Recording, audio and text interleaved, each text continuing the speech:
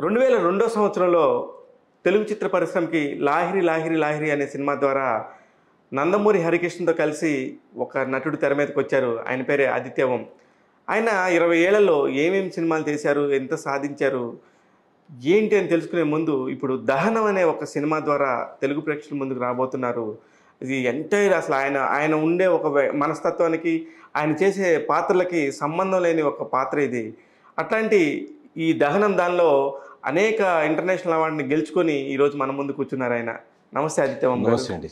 చాలా సంతోషం అండి. థ్యాంక్స్ లేదు సార్ నాకు I know your journey since two thousand two two అండి.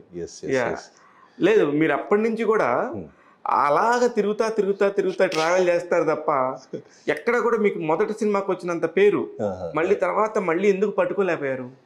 అది డెస్టినీ అండి. ఆ కారణం ఎవరికి తెలియదండి. కానీ వెనకాల maybe there are lot of reasons behind that but నేను యాక్చువల్లీ అట్లాంటి నేను ఆలోచించలేదు ఎందుకు ఇట్లా రాలేదు. ఎందుకంటే నేనే ప్లాన్ చేయలేదు కదా ఫస్ట్ సక్సెస్ సో ఫెయిలియర్ కూడా నేను ప్లాన్ చేయలేదు. థింకింగ్ ఎవరైనా human beings yes yes human బీయింగ్స్కి ఆ, ఒక స్టేజ్ ఇప్పుడు మీకు మీ టార్గెట్ పాయింట్ లాహిర్ లాహిర్ లాహిర్ లాంటి సినిమాలో ఒక అద్భుతమైన క్యారెక్టర్ సంపాదించడమే. అది కొట్టేశారు.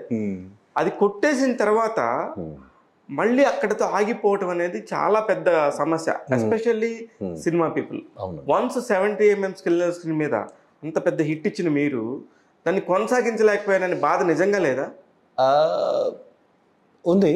కానీ మీకు ఈ మ్యాటర్ బాగానే తెలుసండి ఒక బ్రాండ్కి బిల్డప్ చేయడానికి. ఒక ఆర్టిస్ట్కి కానీ ఒక స్టార్కి బిల్డప్ చేయడానికి ఈ రోజైనా సరే ఆ రోజైనా సరే మినిమం ఒక ఫైవ్ టు సిక్స్ ఇయర్స్ పడుతుందండి. ఆ. ఫైవ్ టు సిక్స్ ఇయర్స్లో కంటిన్యూస్గా మంచి ప్రాజెక్ట్స్ రావాలి. కంటిన్యూస్గా బ్యాకప్ ఉన్న పర్సన్స్ ఉండాలి. అట్లాంటి వస్తేనే ఒక ఆర్టిస్ట్ కానీ ఒక బ్రాండ్ తయారవుతుందండి. సో అట్లాంటి రాలేదు సార్. నేను మీ వైవిఎస్ చౌదరి గారు తప్ప వేరే ఏదో ఆ టైంలో ఉన్న పెద్ద డైరెక్టర్స్తో అసలు పని చేయలేదు.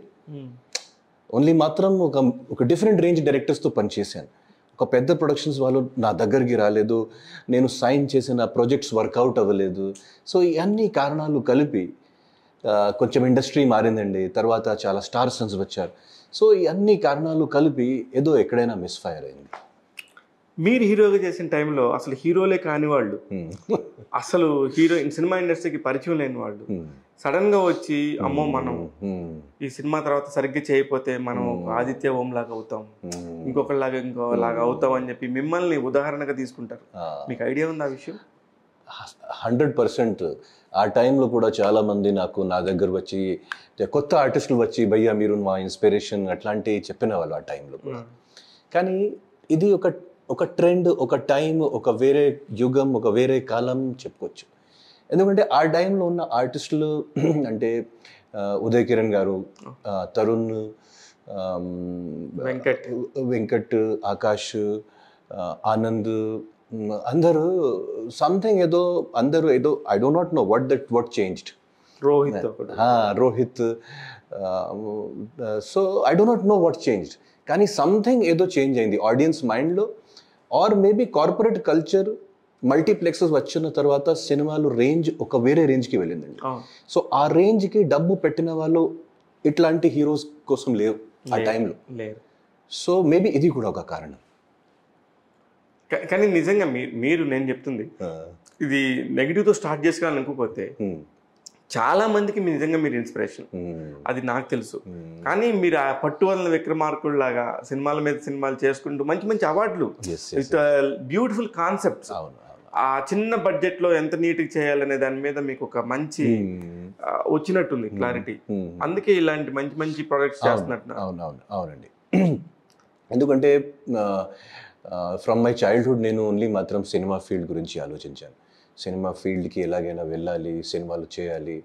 నాకు సినిమా అంటే ఎంత passion sir I'm most happy on the film set నిజంగా మీకు ఒక నిజం ఒక లోపల నుంచి ఒక మాట చెప్తున్నాను. నేను స్పాట్ బాయ్ పని చేసినప్పుడు కూడా నేను చాలా హ్యాపీ స్పాట్ బాయ్ పని కూడా చేస్తాను కానీ నాకు సినిమా రో- సినిమా సెట్లో నాకు ఉండాలి. సో. ఓన్లీ మాత్రం హీరో కాదు డైరెక్టర్ కాదు కానీ సో అట్లాంటి ప్యాషన్ ఉంది నాకు సో అందుకే నేను తర్వాత కెరియర్ స్టార్టింగ్లో అప్పుడు నా వయసు చాలా చిన్నది ట్వంటీ ఫోర్ ట్వంటీ ఫైవ్ వయసులో ఉన్నప్పుడు కూడా ఆ టైం ట్వంటీ ఇయర్స్ బ్యాక్ ఆ టైంలో ఆ వయసులో ఉన్నప్పుడు కూడా నేను సక్సెస్ కానీ ఫెయిలియర్కి సీరియస్గా తీసుకోలేదండి. అది మేము చాలా సీరియస్గా నేను సక్సెస్ అయిపోయాను ఎందుకు ఫెయిలియర్ అవుతున్నాను hundred percent we cannot go proceed further అండి సో ఎందుకంటే ప్రతిరోజు ఒకేలాంటి ఒక ఒకలాంటి అవ్వదు. Maybe tomorrow maybe I will get more success కానీ ఆ బ్యాడ్ టైంకి ఆ రాంగ్ టైంకి సంథింగ్ సంథింగ్ చేసి సర్వైవ్ చేయాలి. ప్రతి పర్సన్కి వస్తుంది. Good times bad times so కానీ ఒక్కసారి మనం బ్యాడ్ టైంకి ఓవర్టేక్ చేస్తే ఓన్లీ ముందు ఓన్లీ ఓన్లీ మాత్రం అక్లేమ్ అక్లేమ్ అక్లేమ్ వస్తుంది. హండ్రెడ్. సో అట్లాంటి చాలా డిప్రెషన్కి కూడా వెళ్ళాను బ్లాక్ హోల్స్లో కూడా వెళ్ళాను Hmm. రెండు మూడు సార్లు.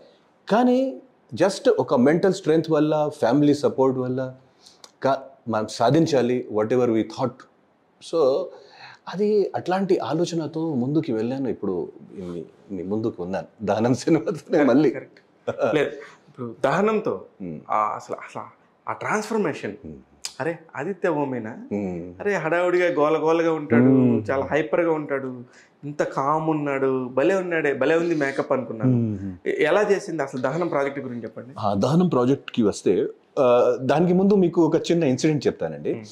ఆ ట్రైలర్ లాంచ్ ఫంక్షన్లో ఒక పెద్ద ప్రొడ్యూసర్ గారు ట్రైలర్ చూసిన తర్వాత ఆదిత్య పంతులు ఎవరు? తర్వాత నువ్వు ఎందుకు ప్రమోట్ చేస్తున్నారు? నువ్వు ఎందుకు పిలిచారు నాకు? నువ్వు ప్రొడ్యూసర్ ఆ సినిమాకి? సార్ నేనే సార్ రా. ఆ పంతులు ఆ భరద్వాజ్ శాస్త్రి నేనే సార్ సో అది పెద్ద ప్లస్. నిజం. ఇలా ఇలా నటుడికి- ట్రాన్స్ఫర్మేషన్కి ఇలా అది. సో కానీ మొత్తం credit total credit goes to my director అండి. ఎందుకంటే సార్ ఇంకొక గొప్ప విషయం ఏంటంటే ఈ ఈ రోజు ఇట్లాంటి సబ్జెక్ట్ ఇట్లాంటి విషయానికి ఇట్లాంటి విషయాన్ని ఆలోచించడం తీయడం చాలా గొప్ప విషయం అండి తర్వాత ప్రొడ్యూసర్ గారికి కూడా హ్యాట్స్ ఆఫ్ ప్రొడ్యూసర్ గారు ఈ సినిమా ఒప్పుకున్నప్పుడు ఒకటే మాట అన్నారు. ఇది సినిమా బడ్జెట్ ఈ మీ ఇద్దరు కలిసి నాకు డైరెక్టర్ గారు మీ ఇద్దరు కలిసి చేయాలి. నేను ఈరోజు ఈ ఈ రోజు తర్వాత ఈ సినిమా గురించి మర్చిపోయాను. ఈ డబ్బు కూడా నాకు రిటర్న్ రావడం అక్కర్లేదు. మీరు మాత్రం ఒక మంచి సినిమా తీయండి. సో అట్లాంటి ప్రొడ్యూసర్ దొరికినా కూడా డాక్టర్ సతీష్ కుమార్ గారు MD KIMS Icon hospital MD వైజాగ్లో మా పెద్ద పెద్ద అదృష్టం అండి. సో ఇట్లాంటి టీమ్ దొరికిన తర్వాత నా వర్క్ యాజ్ అన్ ఆర్టిస్ట్ చాలా ఈజీగా అయిందండి. కానీ మీ వైఫ్ పాత్ర చేసిన ఆమె మాత్రం. చాలా యంగ్గా బ్యూటిఫుల్గా ఉంది. ఆమె ఆమె ఆమె బాధపడుతున్నా కూడా అందంగానే ఉంది. అది మీరు గమనించలేదా? కొన్ని కొన్ని విషయాలు చెప్పాను. సో మేబీ సంథింగ్ చిన్న చిన్న మిస్టేక్స్